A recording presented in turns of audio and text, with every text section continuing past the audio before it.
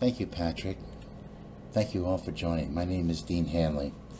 We're going to look at the global futures industry today at 50,000 feet, what you might call the big view. We're going to focus on 1,044 futures trade services. This includes trade rooms, trade sites, trade programs, education, mentorships, whatever. I'm going to focus then down on Global Trade Titans rooms that I was fortunate enough to find early on that trade truthfully, transparently, and profitably, and I'll give you some idea why that's so important and how I measure it. And one of the earliest trade titans I found, the Equity Management Academy. So here we go. My background biology, master's, PhD in science. More science, some more science. Scientific publications, scientific patents. Scientists study the biological and chemical laws of Mother Nature, and Mother Nature never lies. So scientists are not particularly good at detecting manipulation or deceit. As you will see in the futures industry, those two and many other forms of marketing maneuvers are used commonly.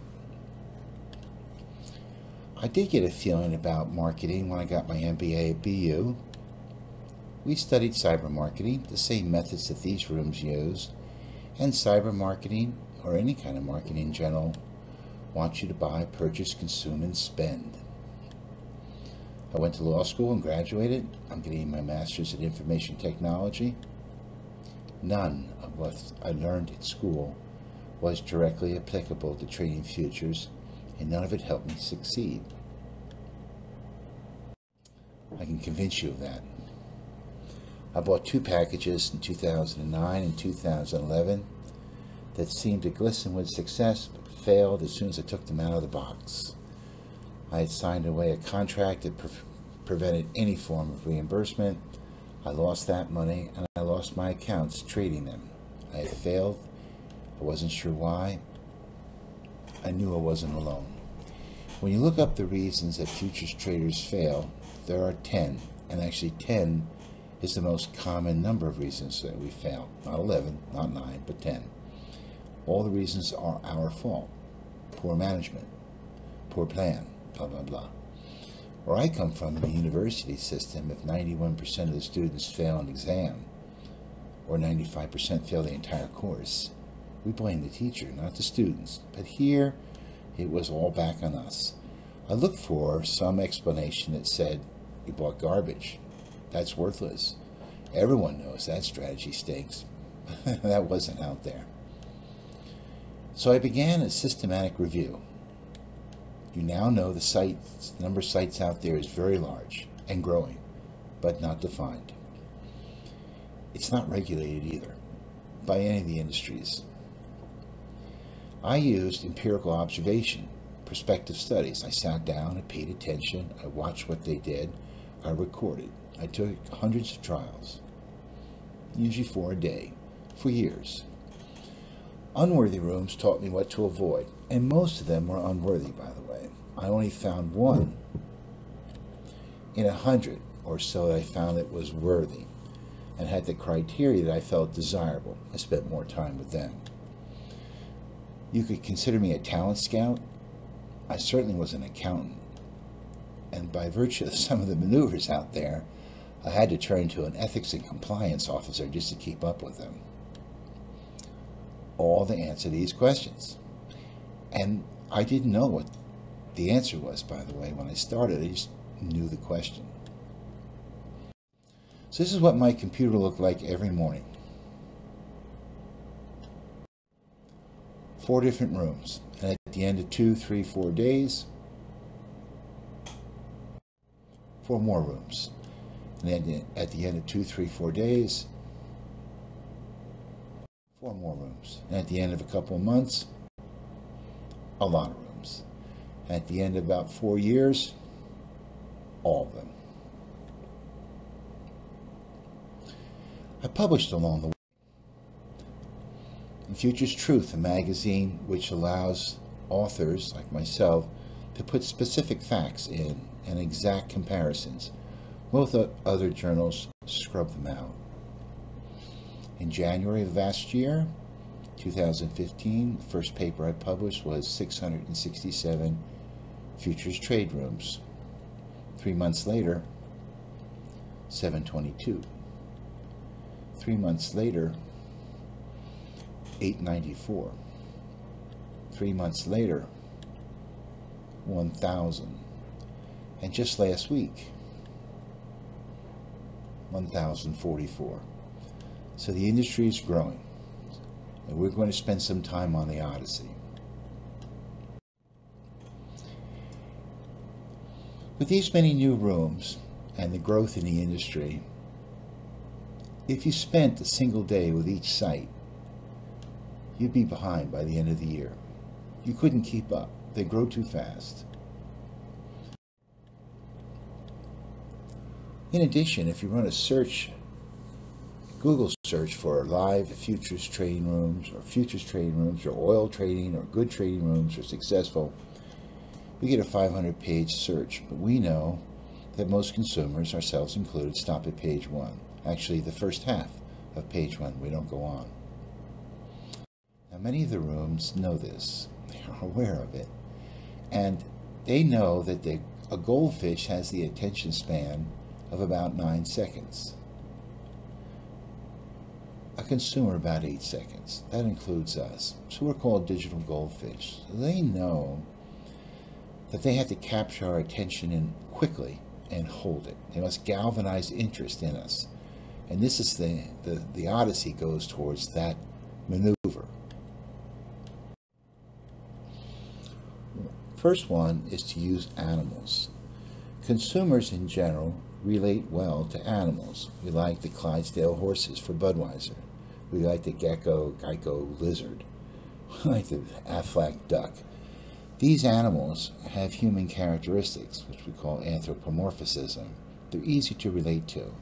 So it might be easy to believe that Cobra Trading, Viper Systems, and Falcon Global have properties of speed or accuracy or even deadly. Fox trade might be cunning. Rhino, tough. Gorilla, big. Panda is his actual last name, but he uses it anyway. Wolf is his last name. He uses it anyway. I'm not sure what blue crow means, or lizard, but I do know that night owl speaks for the time that they trade at night, and Rat Traders was an experiment where rats were taught to trade futures more effectively than futures traders. And of course, there's always the watchful Bengali tiger. Those are animals. Don't like animals? You can trade with a god. Alpha Wave trades with God's vision. Trading faith trade with God's rhythm. Trade for Jesus, only trade with Jesus. Wizard, Futures Wizards, they have wizards, and the E-mini wizard has a secret code of the Illuminati. Grail traders, well, they have the Grail. First Wave has voodoo lines, and voodoo trading has both voodoo and gypsy trading, so you can choose. The James 16 group presents in apostolic overtones and their testimony says that they have been a salvation from trader's hell. Magic Trader University, well, everything's magic. And be a trading god today, well, that just sums it up. So, how about a round of lightning bolts for everybody? Don't want to trade with a uh, god? You can trade with a planet. Astrology, as opposed to astronomy, is a study area that says that the planets, celestial bodies, influence mankind, influence what he does, what he thinks, influence his finances, influence his financial decisions, influence his futures trading.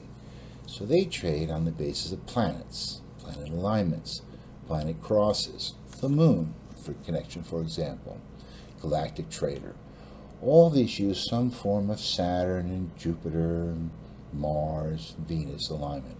So you can trade with a planet. And if you don't believe me, you can get a hold of the Cosmic Intelligence Agency, the CIA, and ask them what's up, and they'll tell you.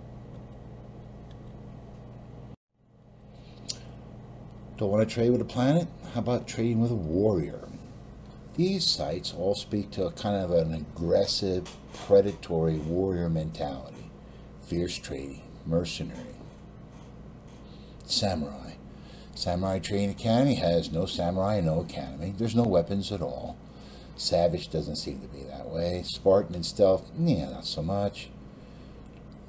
Warrior Trading says take the leap. Okay, and Warrior Trading Room is just that. But again, none of these have any weapons or any kind of combative principles. If you don't like the warrior, how about Zen? Zen Trade, Zen Dance, Zen Trader. They somewhat talk about being patient and waiting. We all do that anyway. There's really no Zen in the Zen Traders, but it has a nice ring to it. And of course, none of these rooms have a track record. And one last thing that's very diverse that these rooms use is image. Image. Image sells, for example. You see here Sterling Profits. Young man, well dressed, well groomed, at work. Feet up on his desk, smoking. What do you think? Think he's successful?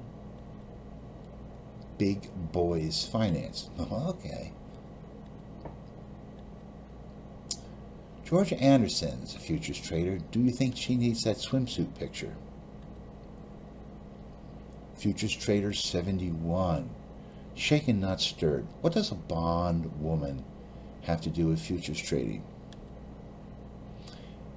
FOB.com has a new application shown right here between these two young ladies. Can you see it?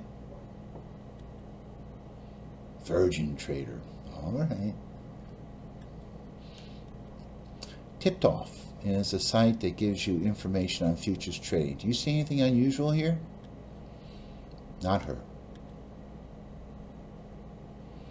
Floppy disk. Who uses a floppy disk? So if I don't like any of that, what do I look for? This, a track record. Number of trades, contracts per trade, profit loss per trade. By day, by week, by month, by year. Truthful and forthright. How do you know it's truthful? You sit in the room, you track the trades, calibrate the profits, and make sure the track record is truthful. The government says that past performance doesn't equal future. Okay. But it does equal past. It's 100% predictive of past. And past is good. It gives me like um, like a batting average. I can use that. You mean to tell me if you look at a room that averages $100 per trade over a year versus another room that averages $20 per trade over the year, you don't know what to do? You are not informed? Secondly, I asked the question, do they net $50,000 a year on three contracts of trade? All 1,044 rooms say they're successful. All of them say something like earn extra income. When I ask them how much, they don't know. They'll say be financially successful. All right, how much? Mm, don't know. You can become financially independent. Oh, okay. How much? I don't know. So I chose this. Why 50000 a year? It's the median salary in the United States for the last two years. It's a good place to start. Not too much, not too little. Why three contracts of trade? From my experience in the rooms that I've evaluated, you can't do it on two or one. It's just too hard. Three's tough, but two or one are really hard. And you can wait. 50000 a year on a 1250 contract is the same thing as 20000 a year on a $5 contract, and so on. And thirdly, do they show their trades in real time? I think this is the single greatest, most difficult, most demanding expectation of a head trader. They can tell you, type out what they're doing in text, they can narrate it, They can use a price chart or DOM. DOM rhymes with mom, not dome with home. All four will tell you what's going on. The price chart and the DOM let you know exactly what's happening because you can see their entries and exits. The other two, you have to rely on communication. You cannot verify, but nevertheless, it doesn't mean they're wrong. Just means a different form of communicating. I want trades that are communicated to me so I can understand and replicate, so I can mirror trade them, shadow trade them. I don't want trades that are blinking you miss trades. So if you ask for a track record, you define successful trading as 50K a year, that's 1K a week, 200 hours a day roughly. And you want them to show their trades in real time. You go from 1,044 rooms down to 15. And these rooms I call trade titans. They are truthful, transparent, and profitable. And here they are in ascending alphabetical order. We're going to focus on this one for today. Now you understand how this room fits into the overall picture. Equity Management Academy has a live signal room, a live trading room. I was in it for several, many months. And Patrick has developed this very unique, mathematically balanced proprietary trading tool which harnesses or incorporates several different mathematical algorithms. It's quite complex. It goes back years, and he's really well versed in it. His tool on any given day for any given trade or index will give you four signals.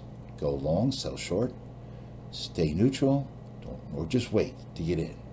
So in reality, in spite of its complexity and diversity, it translates to a very simple, straightforward instructions. This is a screenshot of his um, profits track record in July of 2015. It was at $2,999, $299,000, almost 300000 By the end of the year, it was at 461 It went from 299 to 461 A remarkable achievement. He trades silver I can tell you, mathematically speaking, that over the last two years, Patrick has made more money per contract in silver than any room I've seen ever. He is immensely accomplished in silver. I call him the Silver King. He's very good at gold, oil and Russell, securities and options. He does day trading, swing, and position, and they're all live. You can't ask for anything more. Except, oh yeah, he does very well at what he trades. This is his track record. This is what I like. The date of the entry, the time of the entry, and the entry price. And you have the exit date, the exit time, and the exit price, and of course, the final profit loss. But I want you to recognize that this is only one contract per trade. I normalize all rooms to three. Some rooms trade one, some trade two, some trade three, five, six, ten, whatever.